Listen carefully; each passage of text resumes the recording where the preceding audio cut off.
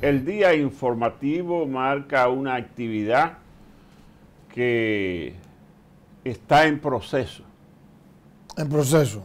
Se trata de una marcha de protesta que salió hoy de la avenida Máximo Gómez hacia el Palacio Nacional. Se trata de los empleados del metro de Santo Domingo que iniciaron paros parciales lunes y martes y este miércoles, bueno, con carteles y cartelones, un reportaje interesante que dio la, hoy mismo la Super 7, un reporte de aquí mismo del canal, haciendo la transmisión de la protesta. Mírala ahí, es gente que va al palacio a pedirle al presidente de la República que detengan el programa de cancelaciones de empleados que están siendo desvinculados de la institución y al, al, al día de hoy 130 gente cancelado y entonces mire cómo dice el cartel trabajadores del metro en lucha pidiendo aumento de salario y las reivindicaciones y que se detengan las cancelaciones. O sea que, mire, una forma organizada, pacífica, interesante, muy interesante. Yo creo que ese es un ruido, un año tan difícil como este, y que además tiene un matiz electoral tan importante. Es un ruido que el gobierno no debió permitirse. Pero bueno, vamos a ver. Es interesante, como usted dice, bien organizado, con pancartas, pero el detalle es que precisamente como estamos hablando de que hay una especie como de descalabro de los servicios públicos, ese es otro, que históricamente había sido un servicio 1A, es lamentable, que ahora de repente haya dificultades con el servicio. Porque la pregunta es... No, el servicio no se ha detenido. La pregunta es, pero no está igual, don Freddy. Si usted ve los reportajes que se hacen aquí mismo, en N Televisión, se da cuenta de que ciertamente el servicio, aunque no se ha detenido, no es igual. No es igual. ¿Es igual? Bueno, hay luz, pero no igual que antes. Ahora se está yendo, se está yendo la luz. O sea, Diablo, no un descalabro, es un término que quizás es un hipérbole, una exageración, pero sí hay una desmejoría importante de muchos servicios. Entonces, yo me pregunto, y de acuerdo a, eh, opiniones y declaraciones que he visto de otros colegas, que parece que han profundizado en, lo que está pasando en el metro, usted va al metro y también se ve como que todo, toda la infraestructura se está como deteriorando. Falta de mantenimiento. Entonces yo mi pregunta es de qué vale que por ejemplo el gobierno termine el metro que está construyendo en Santiago o que, o que termine el que está construyendo el que va del 9 a los Alcarrizos, si, él, si lo van a dejar dañar. Porque se supone que lo que se está construyendo, por ejemplo, el de la carretera 9, a los Alcarrizos es parte de todo un sistema de transporte que se está construyendo en el Gran Santo Domingo. Entonces, todos los metros, todos los tramos tienen que estar en buenas condiciones y tienen que tener empleados entusiastas dando un buen servicio. Porque aunque sea tecnología, la tecnología la manipula es una persona. Entonces, no es solamente que el nuevo sea bonito, sea moderno, más, moderno y más lo que sea. Haya salido más barato, lo que usted dé la gana, pero lo importante es que la gente tenga un sistema. ¿Por qué? Porque hay uno que viene de los del carrizo, que se va a quedar en el 9 y no terminó ahí. No todo lo que viene de los del carrizo trabaja en el 9. Hay otro que después tiene que coger para la Máximo Gómez. Hay algunos que, que quizás tienen que coger hasta para aquel lado y lo que necesita es un metro que lo lleve con buen precio, rápido, cómodo, buen servicio, desde el Algarrizo hasta San Luis, hasta eh, la San Vicente o hasta cualquier lugar donde pasa un metro. Entonces, ¿de qué va a valer? Ah, bueno, este es de nosotros, este está bonito, arregladito, pintadito, moderno. Nosotros vamos a dejar que se desbarate, porque fue el PLD. Ese es un disparate. Entonces, por favor, por favor, y aparte de eso, cuando usted maltrata a un empleado, porque supuestamente es del PLD, al final del camino el, el PRMI está, recibiendo un mal servicio.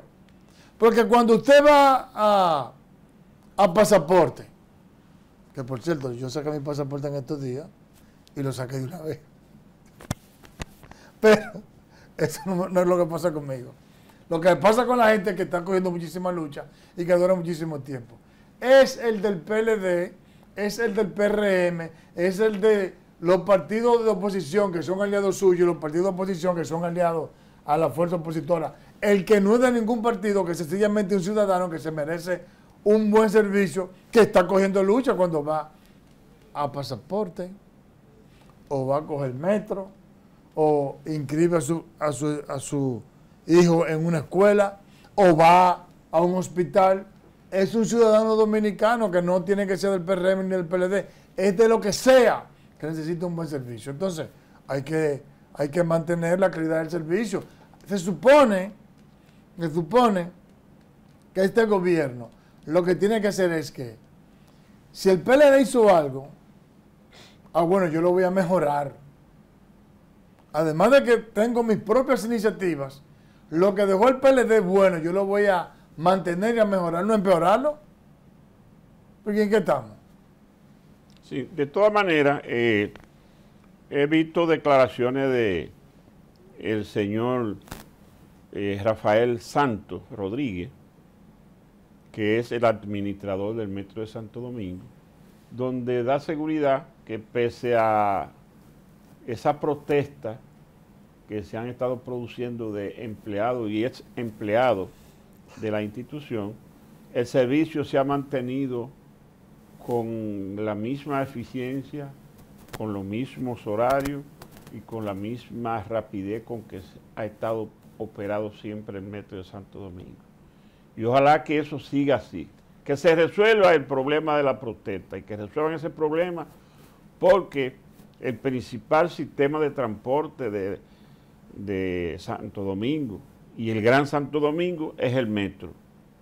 Unos 300 mil pasajeros diarios entonces con eso no se puede jugar porque eso es de seguridad nacional. Ese servicio no puede detenerse. Pero fíjese cómo comenzó una protesta con cuatro personas el lunes, el martes se sumaron diez y hoy ya es una marcha de mucha gente que va al palacio. Pero aparte de eso, don Freddy, mire, vamos a suponer que sea verdad, que no lo es, porque aquí están los reportajes. Yo veo, yo veo el noticiero todos los días de N Televisión. Pero vamos a suponer que no es así, que, que el servicio hasta mejoró. Hasta mejoró el servicio. Luego de que esos empleados están protestando. El problema que es que no hay razón para que un empleado esté protestando y se esté sintiendo maltratado y humillado por una institución del Estado dominicano. Es que se supone que un empleado tiene que ser dignificado. Se supone que si usted se sienta en una mesa de negociación con un empleado y le promete, miren, ellos le dicen, nosotros tenemos tanto tiempo aquí trabajando, dando un buen servicio, entusiasta. ¿Y qué pasa? La inflación, ya la inflación acumulada supera el 25%. El incremento, a nosotros no nos ha incrementado el salario. No le promete para después no cumplir y después que no le cumple, entonces lo quiere cancelar. O sea, eh, eh, eh, esos empleados, bueno, a menos que sean unos fanáticos empedernidos del PLD, de hacer oposición como unos locos viejos, entonces se puede entender. Pero yo dudo que sea así. Es que si el gobierno promete algo, cumple, eh, eh, promete algo y se sienta con un empleado, tiene que cumplirle. Si no, no se moleste porque eh, le protesten. el que tiene que cumplir. Entonces yo le voy a decir lo siguiente, Freddy. Mire, olvidémonos del deterioro del servicio. Vamos a decir que todo está bien. Pero usted no se ha fijado que en varias instituciones hay reclamos porque hay una especie de maltrato con los empleados. Entonces, eso, con todo eso hay que, hay que terminar.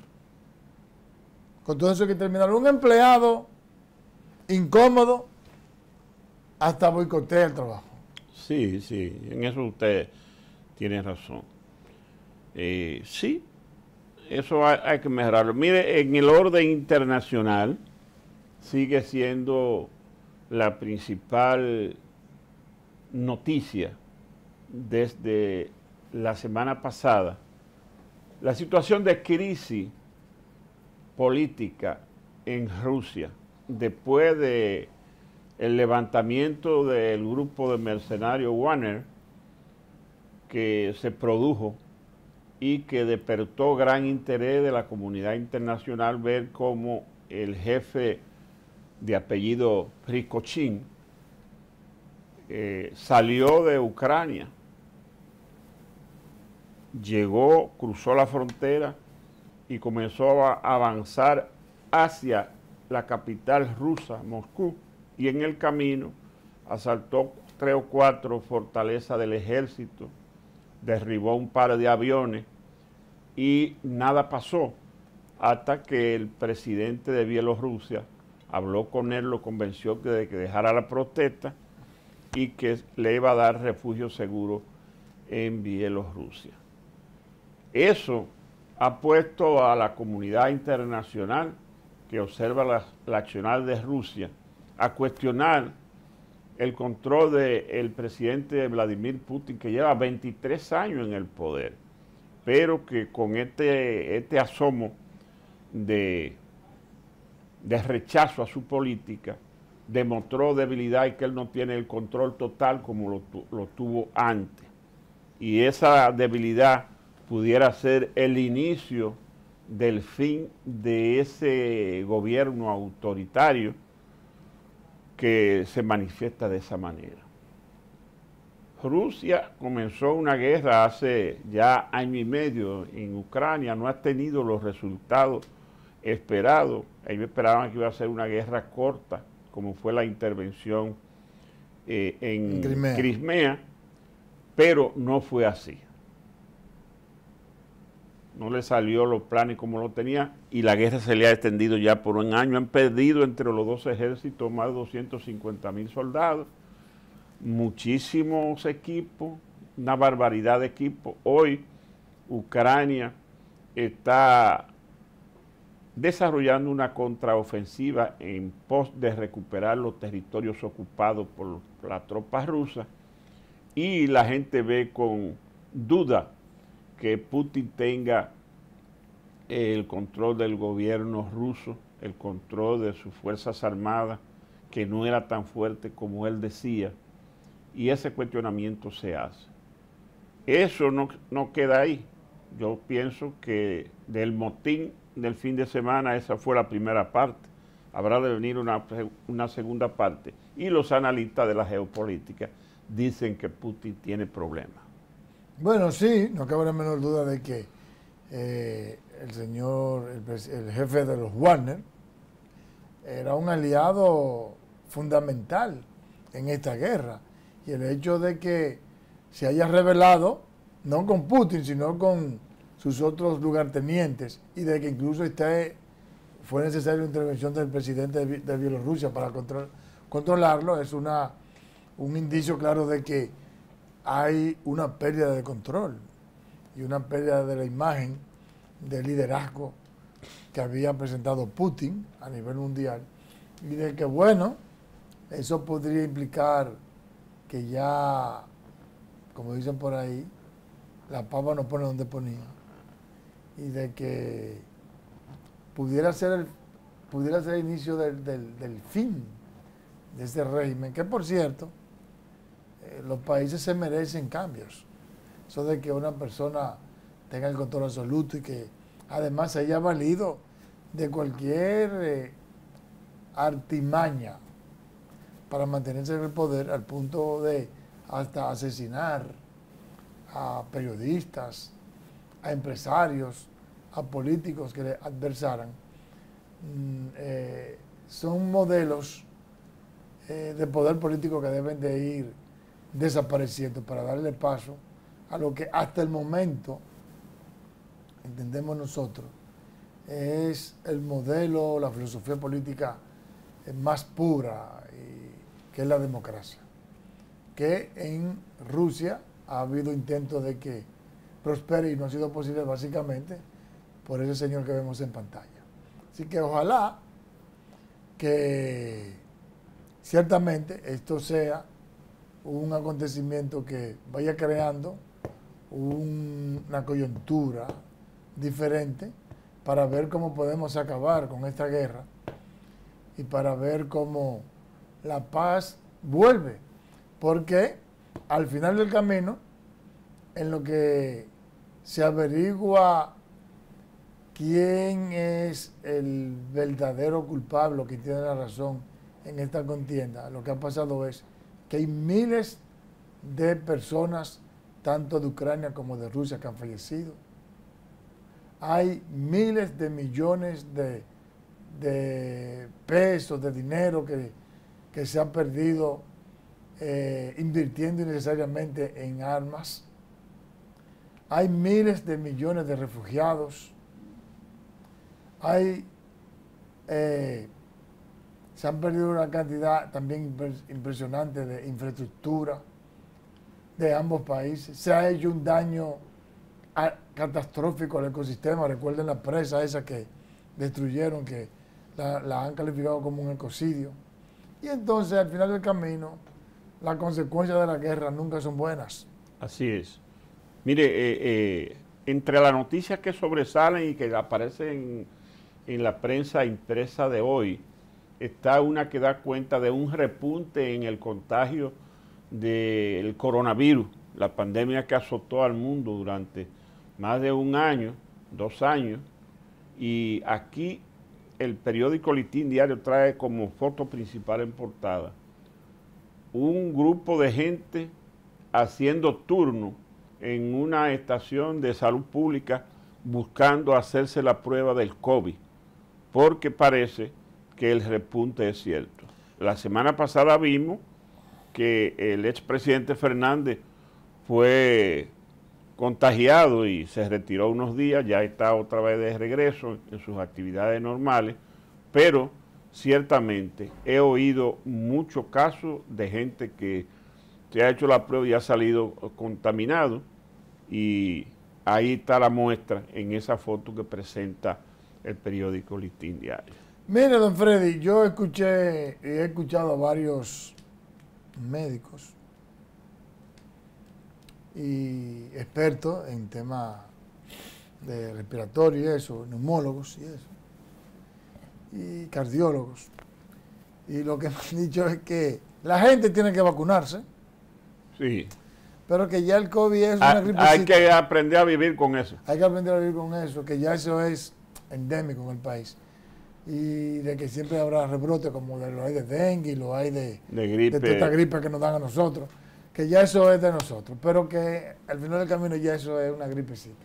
Fíjese que Leonel Fernández no duró ni una semana. Así es. Señores, la pausa, los comerciales, regresamos.